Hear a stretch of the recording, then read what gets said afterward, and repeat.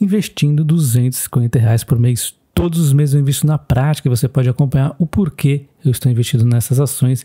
Eu vou começar aqui com o Enalta, uma excelente pagadora de dividendos, que não pagou dividendos tão bom agora, neste ano, mas tem toda a história aqui que eu vou contar para vocês entenderem por que, que eu investi nela. Bom, a Enalta ela tem aí no primeiro trimestre de 2020, 79% da sua receita era do campo Atlanta, que é um campo de petróleo, e 21% no campo Manat, que é um campo de gás. O campo Atlanta é um campo de petróleo relativamente jovem, com reservas gigantescas e muito desafiador. Enquanto o Manat, ele é um campo já antigo, um campo que, maduro, né, que está aí em declínio na produção, um campo de gás. E aí a, Enalta vendeu essa parte do Manat e até o fim do ano ele deve sair aí do portfólio da, da Enalta. Por enquanto ainda está a Manat nele. E aí no primeiro trimestre de 2021 tínhamos 79% aqui, né? Do campo Atlanta, e olha só o que aconteceu no primeiro trimestre de 2021. De 2020 para 2021, houve uma queda gigantesca, indo para 31% em 2021. Por quê? Porque quatro, oh, três, é, dos três postos que a, Atlanta, que a Enalta tem em Atlanta, um funcionou apenas nesses três meses do ano. E funcionou em dois meses. Então, assim, tem três postos e apenas funcionou um deles em dois meses. Então, por isso que deu esse declínio. Mas os campos aí, a, a, com a evolução tecnológica, eles estão conseguindo, inclusive, ter mais eficiência aí na extração do petróleo. Só que é, é, essa manutenção realmente atrapalhou a Enalta nesse primeiro trimestre e vai atrapalhar no segundo também um pouco. Eu vou mostrar todo o cronograma aí previsto aí para o ano. No fim do vídeo eu vou resumir toda a situação da Enalta. Por enquanto eu estou dando aqui os detalhes, tá? E aí dando é, o, o, campo Atlanta, o campo Manat de gás, em algum momento ele deve sair do portfólio da Enalta.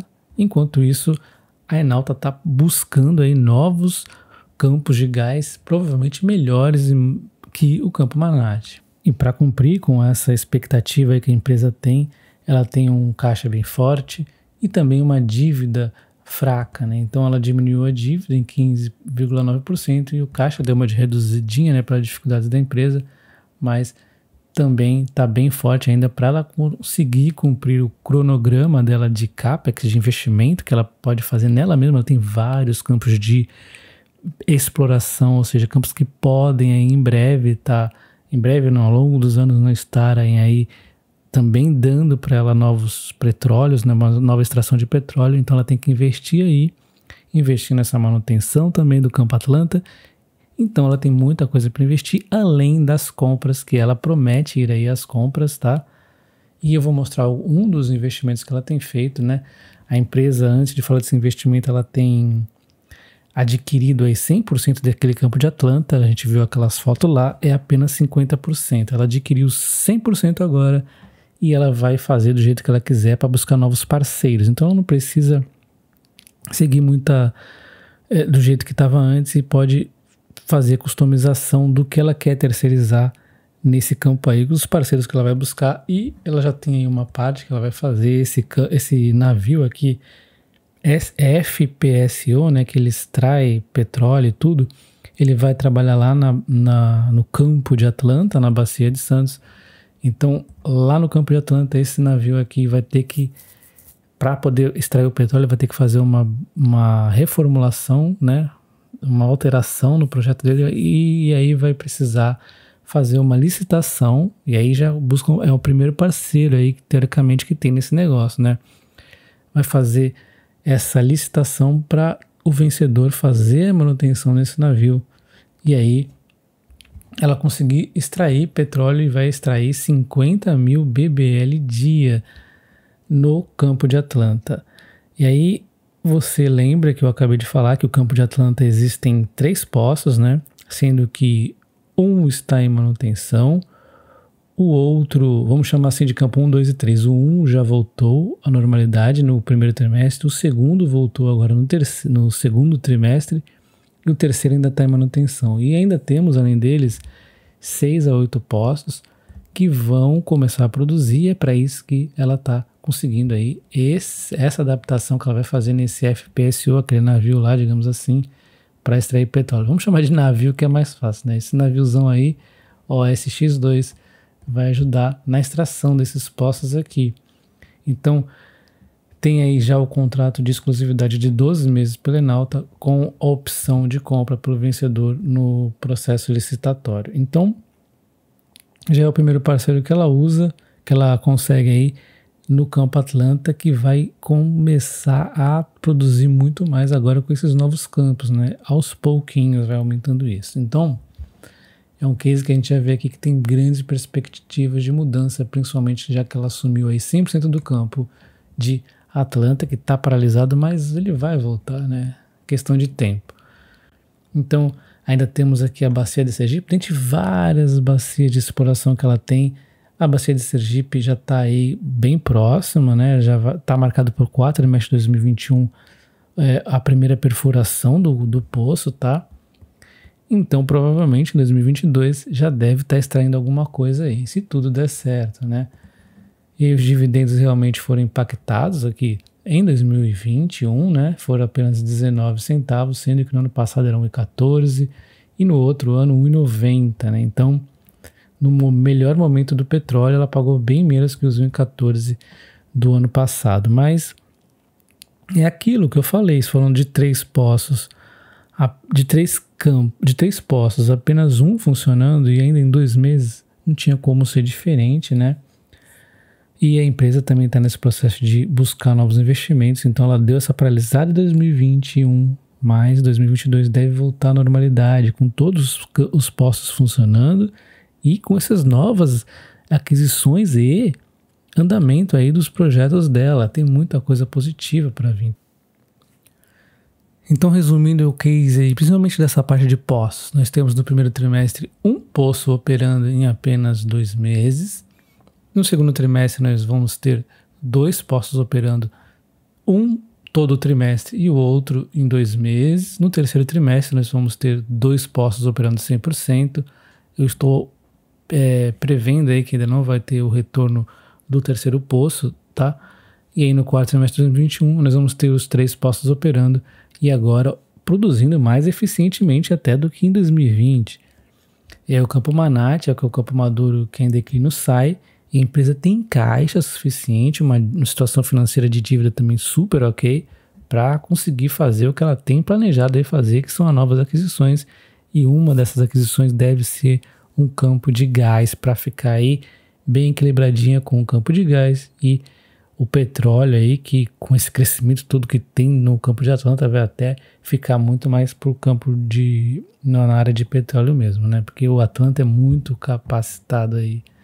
E aí o campo de Atlanta agora com 100%, com a Enal tá buscando, agora a Enal vai ter 100%, né? E, e ela vai buscando aí novos parceiros para projetos de acordo com as suas necessidades, enquanto ela pode voltar até para novas aquisições aí no mercado, também de ou novos postos de, de petróleo ou de gás. Além dos campos de exploração, como eu já disse, né, que eu nem escrevi aqui, mas tem os campos de exploração, que o de Sergipe, por exemplo, em breve deve ter aí novidades. E hoje as ações deram uma certa recuada aí de 4,70%. É muito comum acontecer isso com ela, essas recuadas e subidas fortes, né? Mas de, modo geral, até que está aí ainda não está tão baixa. Ela, tem, ela deu umas altas aqui fortes em alguns momentos. Então o mercado judiou dela em alguns momentos, principalmente depois do resultado. Parece que não previram que o campo sem funcionar ia ter resultado ruim mesmo. E aí depois foi recuperando aos poucos essas quedas, mas como também está influenciado aí no petróleo, vai oscilar também de acordo com o preço do petróleo. Mas como eu disse, o case é tão bom que vale a pena, é por isso que eu comprei um pouco de Enalta, não comprei tanto assim, comprei apenas quatro ações, que significa aí R$ 62,80, para quem investe 250 reais não é tão pouco assim, né? Mas a gente vai nessa devagar, porque pode ser até que caia mais, a gente de repente comprar mais aí depois. É uma empresa para longo prazo. Eu não compro ela pensando em vender tão cedo. E aí a carteira do canal começou lá no fim do mês 3, já chegou a ficar negativo, principalmente por causa do IVVB11, não, desculpa, do XPIN11, né, do fundo imobiliário, mas já se recuperou. Está hoje com rentabilidade de 7,36. Não devemos comemorar muito, o Ibov está em alta, é fácil ter essa rentabilidade assim, mas o fato é que as ações aqui são muito boas, confio nelas bastante. Nós temos aqui PB Seguridade, Itaúsa, XPIN, que é o fundo imobiliário, que é o único aí o, quase o único que está negativo, né, bem negativo.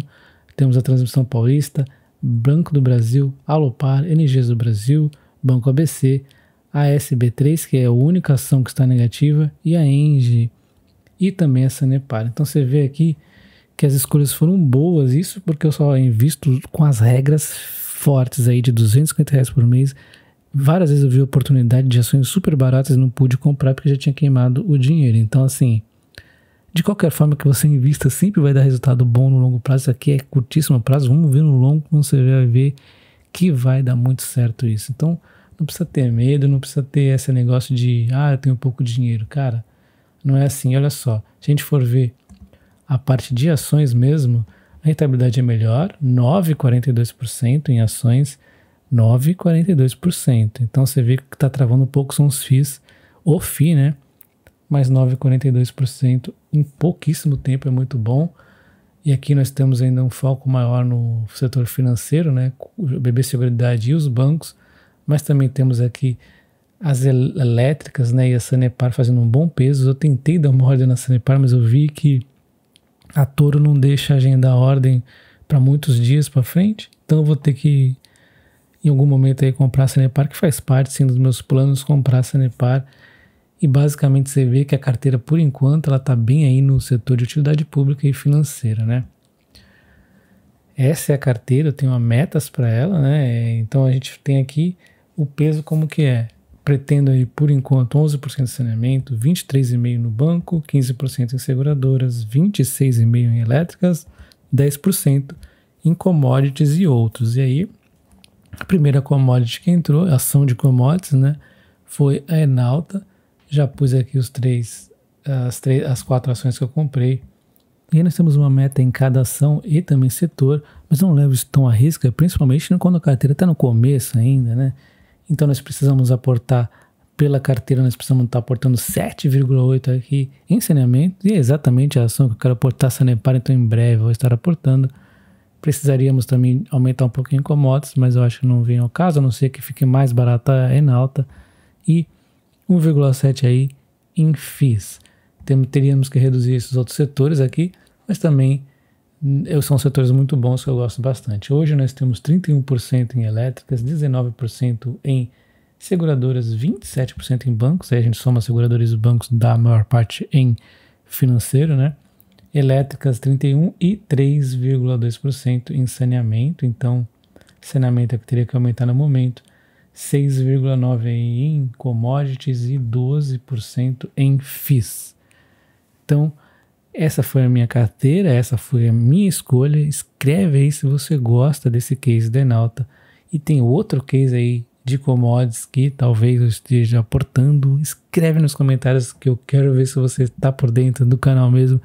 Se você sabe qual ação que eu estou falando aí do setor de commodities e dica ela não está planejada a princípio, não é uma dessas que eu acho que é uma mais legal ainda, pelo, pelo que analisando todo, não só o case, como o preço e o risco também. Eu achei ela mais interessante e é boa pagadora de dividendos. Escreve aí nos comentários para ver se você acerta.